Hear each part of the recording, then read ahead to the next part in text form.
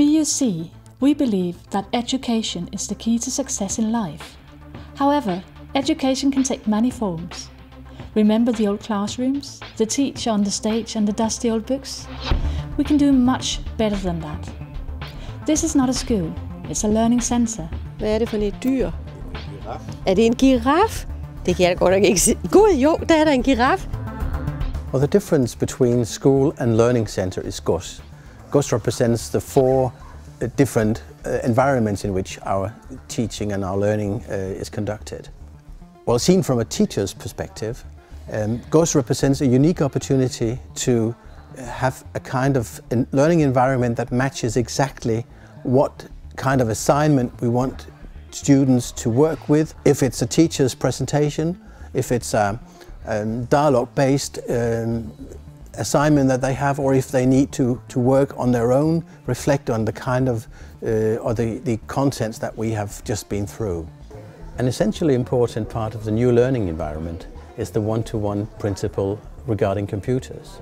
The principle is based on the fact that the school provides computers to all students and all teachers and they, they have the same platform, the same programs available to them.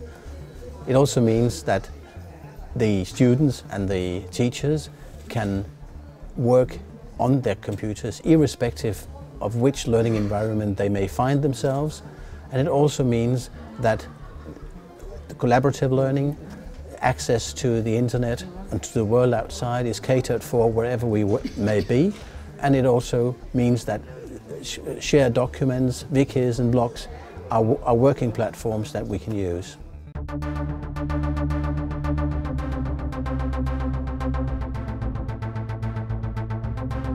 We expect our students to be active producers rather than passive recipients, digital learners in a digital world. We want our students to learn for life, not for school. Open doors, windows, transparency and knowledge to be shared. Really many of our students are quite familiar with modern technology. They're streetwise and know their way about this.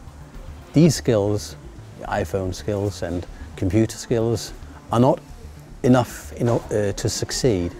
We need to challenge the students in other ways. They need to meet good otherness rather than having a copy of their own everyday lives. To ensure this, uh, the teachers must represent that otherness in person, but also introduce students to materials and problems that they can, that they can see their own lives reflected in. So this requires of the students that they reach out for the fruits of learning, sometimes even having to stand on their toes. It is my opinion that the GODS principle um, and the, the, architecture to back it up um, supports this kind of thinking. And while we use much of modern technology and everyone is familiar with it, it is my impression that the way we deal with it supports and gives inspiration to the learning that is supposed to take place here. In practical terms, when I'm trying to implement the GODS principle to, uh, to my teaching, I would ideally start with my students in a room equipped with a smart board where I would introduce theory or present an assignment to the students.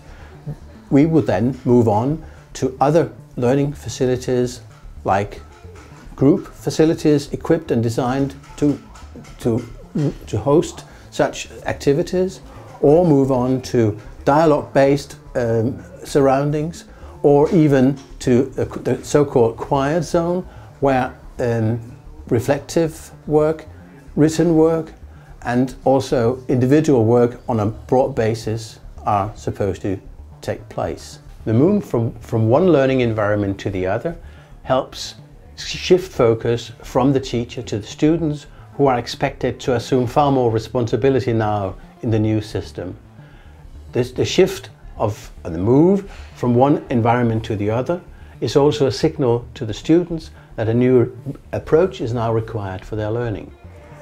The teacher's role naturally changes as a consequence of GODS. Much necessary planning um, involved in making the, move, the moves from one learning environment to the other run smoothly is made by teachers who share the same uh, parts of, the, of, the, of a given floor at a given time. The teachers are organized in teams and it's the job of the teams to support the students in their endeavours to succeed. To be successful, one must be willing to move, physically as well as mentally. We want a learning centre where students like to be and like to make friends.